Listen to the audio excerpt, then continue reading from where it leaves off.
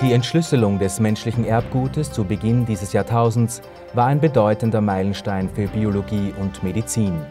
Und doch nur der Anfang einer ungleich größeren Herausforderung. Die sogenannte funktionale Genomik rückte schon bald ins Zentrum des wissenschaftlichen Interesses.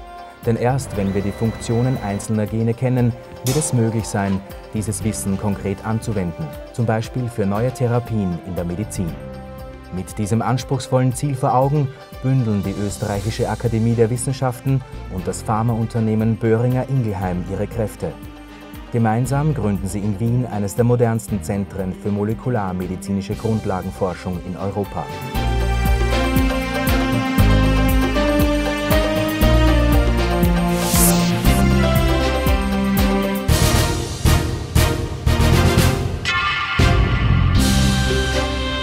Am IMBA, dem Institut für molekulare Biotechnologie, arbeiten bereits wenige Jahre später über 100 Spitzenforscher aus 20 verschiedenen Ländern daran, die Vorgänge des Lebens auf zellulärer und molekularer Ebene zu erklären.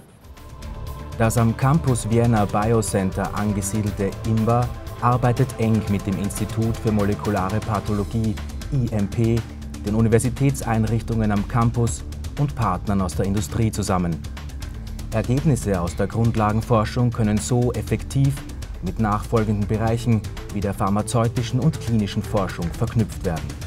Die möglichen Anwendungsbereiche unserer Forschung reichen von Herz-Kreislauf-Erkrankungen zu Immunologie zu Krebsforschung. Und für mich war es der größte Erfolg in meinem Leben, dass wir Dinge tun, die den Leuten irgendwann mal helfen können. Das hohe Ausbildungsniveau am IMBA zieht auch den wissenschaftlichen Nachwuchs aus aller Welt an. Jedes Jahr bewerben sich mehrere hundert Studenten um einen Platz im internationalen Doktorandenprogramm, an dem sich das IMBA gemeinsam mit anderen Instituten des Campus Vienna Biocenter beteiligt. Die besten Ideen in der Wissenschaft kommen nicht im stillen Kämmerchen oder auf der grünen Wiese, sondern wenn wir gemeinsam mit unseren Studenten und Postdocs über Dinge diskutieren. Wir ermutigen alle unsere Mitarbeiter gegen den Mainstream zu denken, äh, neue Ideen zu, zu kreieren. Deswegen haben wir hier auch keine hierarchischen Strukturen. Jeder Mitarbeiter und jede Idee ist wichtig.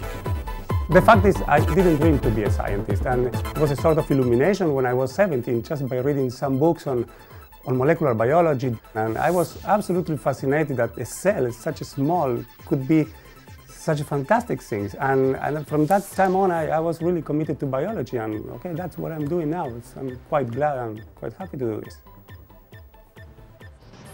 Heute erforscht Javier mit seinem Team die Mechanismen der RNA-Interferenz. Mit diesem molekularen Kunstgriff gelingt es den Wissenschaftlern, Gene selektiv abzuschalten. Da sich auch krankheitsverursachende Gene auf diese Weise blockieren lassen, ist das noch junge Verfahren ein Hoffnungsträger im Kampf gegen Erkrankungen wie Krebs oder Parkinson. Nur wer versteht, wie Krankheiten entstehen, kann sie eines Tages heilen. IMBA, Link Science and Medicine for You.